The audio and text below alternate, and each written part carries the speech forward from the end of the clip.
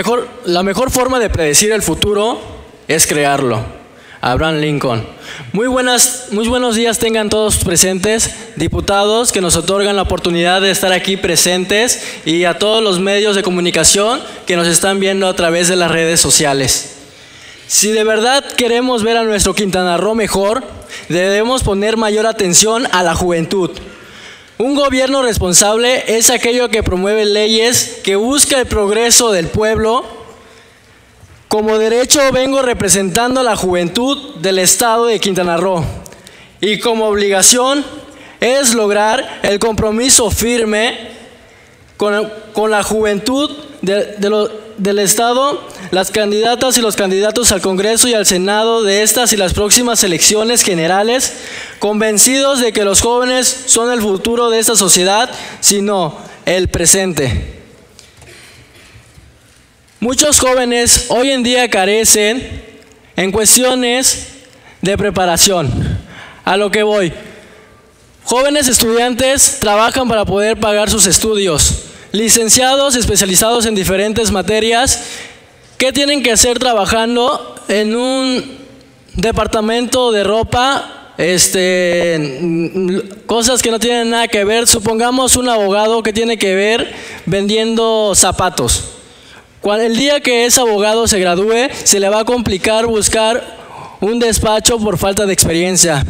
Por lo tanto, quiero que el compromiso tanto de las empresas, de las sociedades, como de los empresarios, apoyen a esos jóvenes. Todos empezamos desde cero. Por lo tanto, si un joven va y toca la puerta a sus oficinas, no solamente les den apoyo económico, sino que en vez de ese apoyo se vuelva un sueldo porque de ahí se están agarrando para poder sus pasajes y pagar su escuela. Esos jóvenes que están desde cero trabajando en empresas departamentales, lo mismo van a hacer desde cero, aprendiendo desde las oficinas o si están en una- alguna rama de turismo. Muchos jóvenes y mujeres se les complica conseguir un buen trabajo digno y bien remunerado, de- debido a la falta de experiencia, aptitudes y vocación.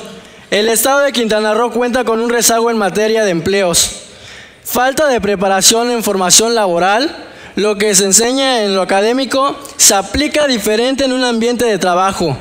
Los empleos que se obtienen no siempre van de acuerdo con las carreras que estudiaron. Propongo que el empoderamiento económico a través del empleo productivo y trabajos de buena calidad buena posibilitar que las mujeres y hombres jóvenes se conviertan en agentes de cambio fundamentales y canalicen sus capacidades ilimitadas por el activismo creando un mundo mejor.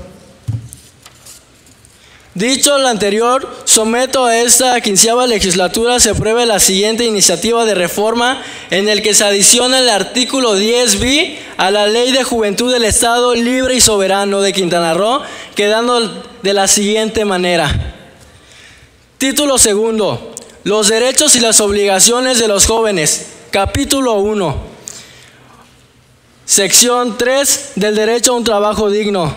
Artículo 9.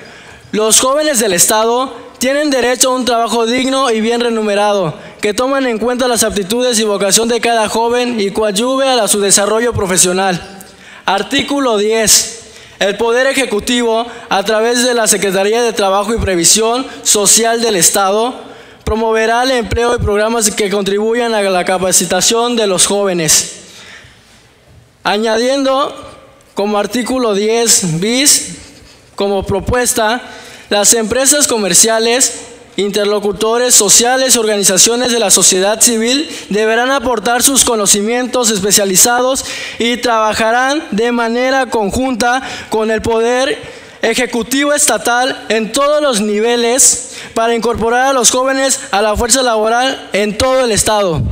Muchas gracias.